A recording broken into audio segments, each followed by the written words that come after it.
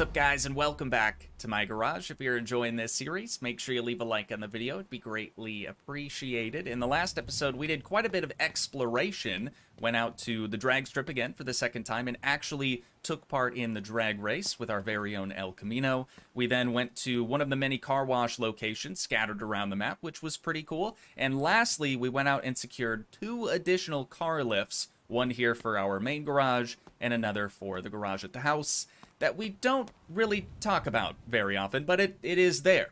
So what I want to do today is start our next project vehicle, and I really, really want that project vehicle to be a barn find. We did go out and, and explore a barn once before, and we were able to find a vehicle, but at that time, I don't think we really had that much money. Certainly not enough to purchase the vehicle. So this time, this time I'm hoping it's different. The first thing we need to do is just make our way into uh, into town so we can start some pizza delivery jobs. Boy, do I love taking the old wolf wagon around town, dude. You just can't beat it. Well, you could, but that would be weird. The wind in our hair, the bugs in our teeth, all from, of course, not having a windshield. It's great. It, it really is. Builds character. So we're just gonna rip the e-brake here real quick. We can just leave it on and we'll make our way inside the pizzeria. Grab one of these here uh, one of these here delivery jobs. So we usually have quite a few like in town. So I'm gonna focus on those first.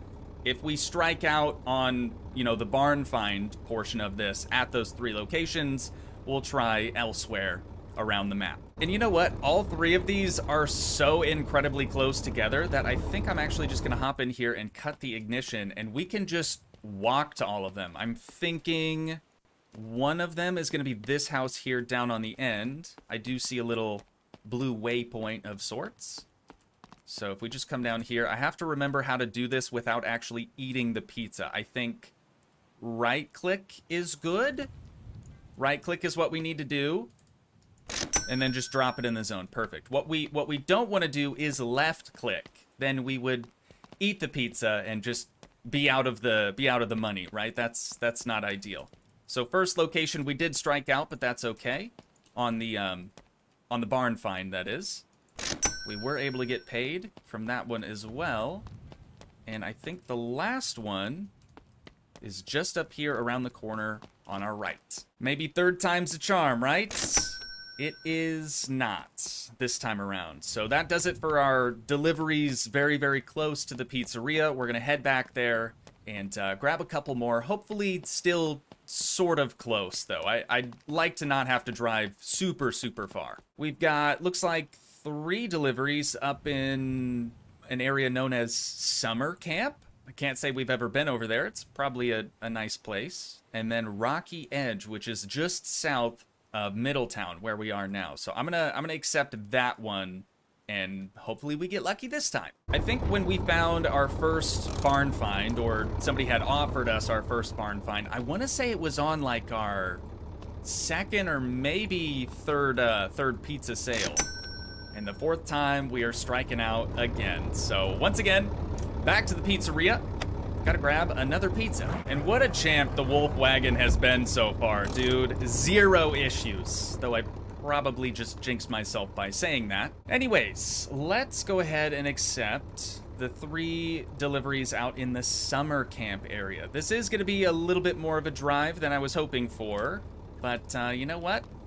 We gotta do it, right? Here we go, pulling into summer camp as we speak. Good memories out here, man. Good memories of summer camp. I mean, I've, I've never actually been here specifically, but I did do summer camp once. It was awful. It was terrible. It's, it's one of those things like you're homesick the whole time. For some reason, you really miss your parents. Dude, they have a hot tub out here. Must be nice, dude. Oh, camp is so hard. Oh, summer camp, the worst. They have a they have a hot tub, dude. They're they're living like Larry out here. Okay, fifth and sixth uh, deliveries did not did not do so well. I must have missed the one up here. Surely, seventh time is the charm. There we go. Thank you for delivery. I have Old Barn that we want to bring down. It has some parts and a vehicle in it. Would you be interested in buying all the items? It would be 2,000 buckaroonies, but it is just a fraction of what it is worth. I will mark the location on your map. Abso-freaking-lutely. It's like they knew that's precisely why we came here. Let's actually, let's see where that thing is at. Still showing pizza deliveries. Good. Now we've been flagged just as a pizza delivery boy. And we've got to make our way back to Middletown. It looks like it's it's pretty close by. Even though this drive has gone pretty well for the most part, you know, we haven't had any major accidents or, or spinouts or anything of the sort, I would still like to maybe get some new tires for this thing or just go over the suspension a little bit more. Oh, okay, it looks like we passed it because, check this out. Under like really, really hard acceleration, it pulls to the right still so bad like, notice the steering wheel is straight, and as soon as I floor it, veers to the right. And I have no idea what's causing that, but definitely, definitely needs fixed. And it looks like there's our barn right there. Hopefully we have a good vehicle inside, and this wasn't all for nothing, like... Okay, there's no vehicle. I don't remember that from our first uh, barn find adventure. I, okay, there we go. We have an NIV. But yeah, I don't remember there just not being a vehicle in there. I'm pretty sure as soon as we pulled up, uh, there was there was a vehicle. Okay, do we have a hood? We do have a hood. It looks like there's a spare right there, though. Check out the engine. Block is absolutely shot. It's going to take quite a bit of work to actually get this thing running, I think. Uh, suspension has a little bit of damage. It looks like that spring is broken. We have some very, very rusty components. I don't even know where to begin with this thing. Let's start with the price, huh? Let's start with the price. 6,800 bones. Original color was like a gasoline green kind of a kind of a gross color. It's now gray. Honestly, it looks like it just needs a bath. The clean state is very, very poor. Rust state is only four stars as opposed to like the three star vehicles we usually purchase from the from the dealership. Color condition five stars. Overall condition two. So again, it is gonna need uh, quite a bit of work. Wait, sell? Oh, right, because we've we've already essentially bought it for two thousand dollars. That really that really threw me off just there. As much as I would love to trailer this vehicle back to the garage myself, we don't currently own nor did we bring the vehicle trailer that we would need for that. So I'm just gonna spend a hundred bucks, get it transported to the garage, and uh, we'll uh, sift through the parts pile here, see if there's anything at all that we really want to bring back yeah, I mean, there's some good stuff here that we could probably pawn off to old scapegoat if we if we really cared. But I I don't think I want to even bother trying to transport it. Honestly, since the way that we've configured our wolf wagon, most of it would just fly out by the time we by the time we get home. And that is totally my fault. Alrighty, we're pulling back into the garage parking lot, and it is time for us to officially start our next project vehicle. It looks like it might have come into contact with our uh, with our trailer, just just a tad. So the first thing I want to do is check to see if it would be even remotely possible to turn this thing over. Oil level looks pretty solid for the most part. Let's make sure we actually get that dipstick reinstalled. There we go. All right. Judging by the condition of it, I don't expect this. Why can I not?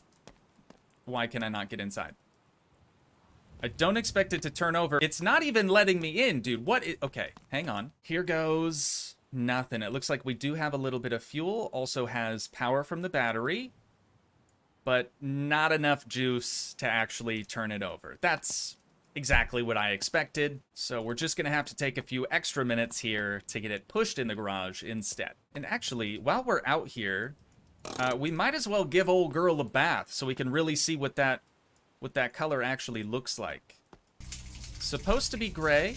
Ooh, yeah, that's a nice, nice darker gray. A lot darker than the El Camino. That's almost like a primer gray. After washing probably years worth of dust and debris from the barn off of this thing, I'm surprised to see the paint condition is actually really good. And the rust isn't even that bad. Like, honestly, compared to some of the vehicles we've purchased from the dealership, this is pretty okay. So let's continue just getting this thing pushed in the garage, and then we can finally get going on it. But it's nice to give it a bath. I guess I never really realized just how short the wheelbase actually is on on these NIVs. Like they're they're kind of built like a Jeep.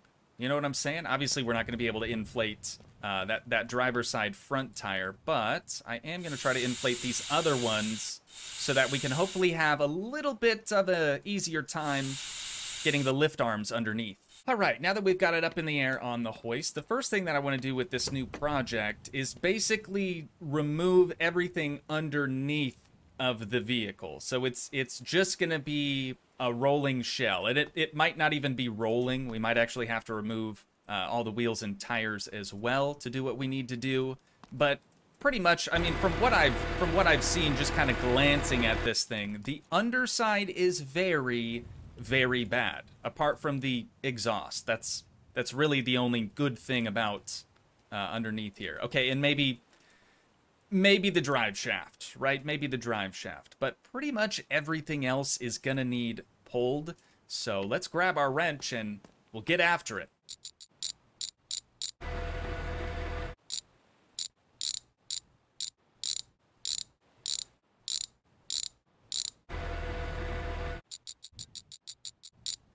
Okay, quick little update here for everyone who's been suggesting I just remove the engine and transmission as one complete assembly.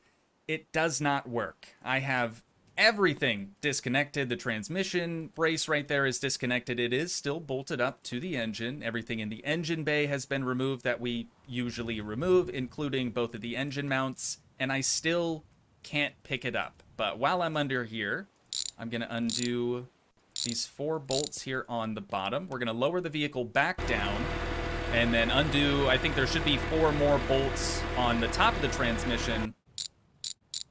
And now we can remove the transmission and the engine also comes out. But they do not like to be removed as one complete assembly. And maybe it works on some vehicles, maybe it just doesn't on on others, but in my experience, it just ain't possible.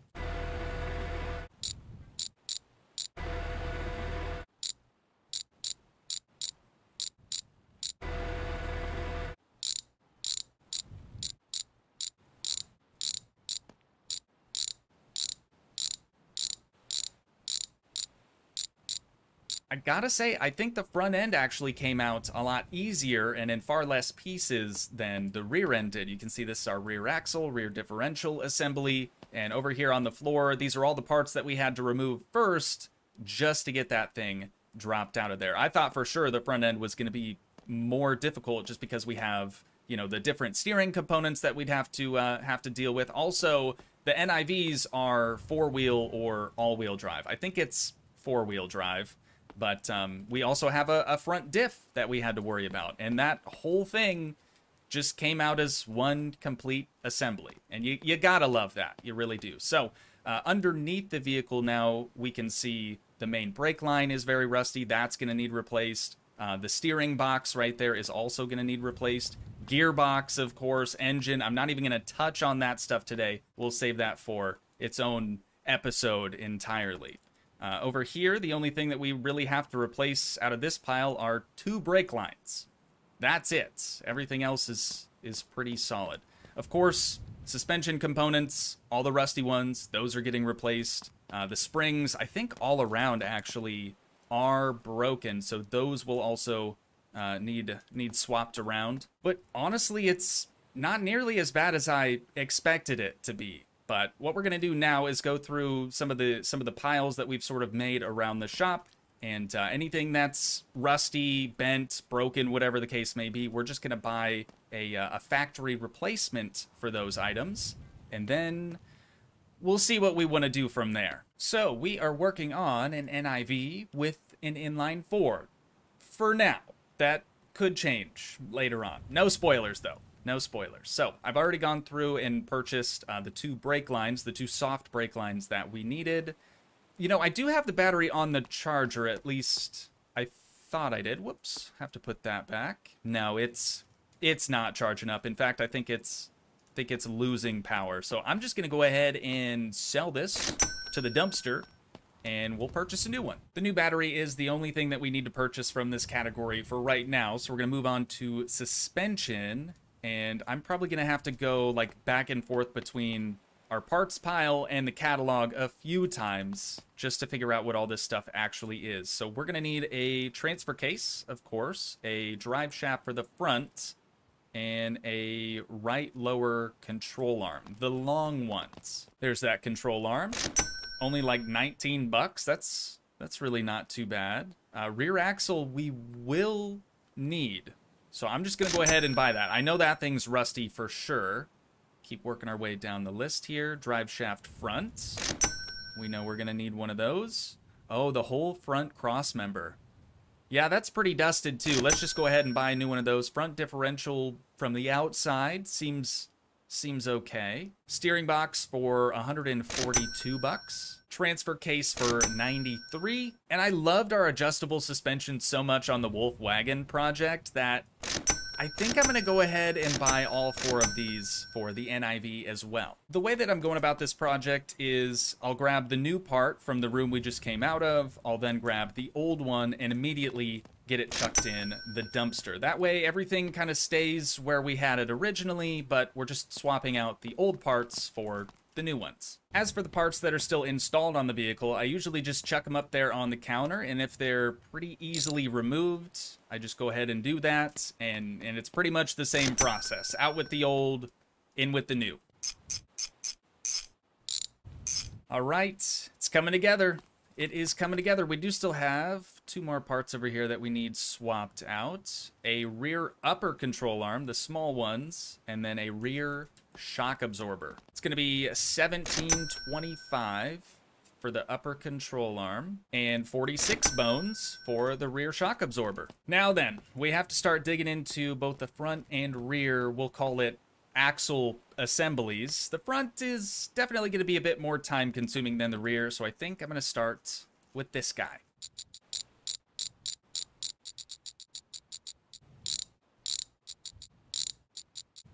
Yeah, I can already tell the rear end a walk in the park compared to how the front end is going to go. There's just there's just less back there, but we did have to remove a little bit more than the front. So it, it probably is the same amount of work. All we need, all we actually need to purchase is one new rear axle slash hub, and then I already had a, a set of rear brake pads over there on the counter, so I just went and grabbed one of those. It looks like we only need to replace the one so we'll get that swapped around, get the whole thing bolted back together, and it'll be back in the car here in no time. Okay, actually comparing this rotor to this rotor, you'll notice it's very, very thin. So I'm to go ahead and toss this one in the trash, and we'll buy a brand spanking new one.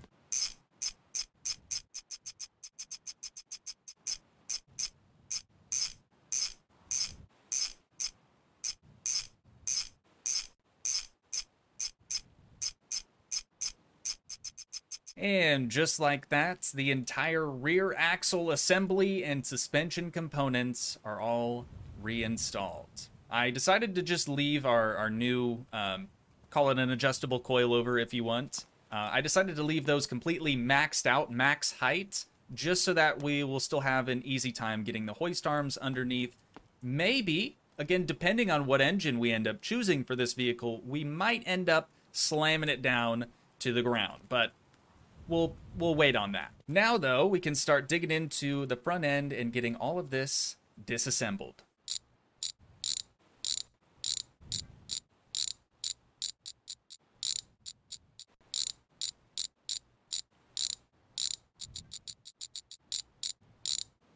disassembling the front was a little bit trickier than than the rear axle just because once we started to unbolt a few things, the whole assembly was rotating and, and rolling and moving on us. But apart from that, it was really pretty simple. So obvious things, upper control arm, that's both bent and rusty, so we're going to want a new one of those. Uh, both of the lower control arms, those are going to need replaced. Both calipers as well. We do have some new replacement pads for this one. Those seem totally fine. And although it doesn't look like it, one of these two rotors is bad. And I'll let you guys determine which one that is. Spoiler, it's the right one. Uh, apart from that, though, this tire, as we know, was fine, but the other one was very, very flat and uh, actually blown up. It was it was actually completely exploded. So we do need to purchase a new one of those, but we can't do it right now because it's actually a little too late in the day. So I'm just gonna sleep here for a few hours. We'll head across the streets, grab some food, grab some water, and uh, we'll probably have to sleep a little bit longer. Let's see if we're going to be subject to uh, a little bit of story time again today. tool selection? If you haven't, you definitely should. I honestly haven't, but I don't think that there's anything new here. Anyways, what we came for was just a single tire. We need a 16, and it does have the, I guess you could call it a higher profile uh, tire on it. Higher sidewall. It's taller than all the other tires. I don't I don't know how to describe it or explain it. We're looking at $25.30 for the two new front calipers, and then we only need one new front brake rotor. But that does it for the brake stuff. We can move on to suspension. We're gonna need both of these lower control arms, and I don't remember if it's the front left or front right upper arm that we need. It's gonna be the front right. So we'll scoop that up for $41.40, but that's it. Now we can start reassembling everything.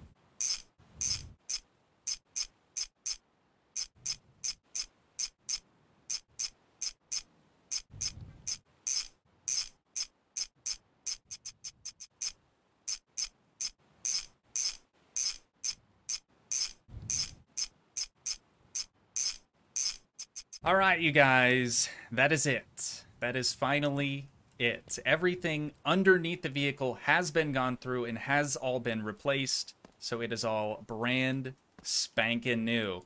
Looks like a completely different vehicle, honestly. Well, from from down under, right? Not not from up above.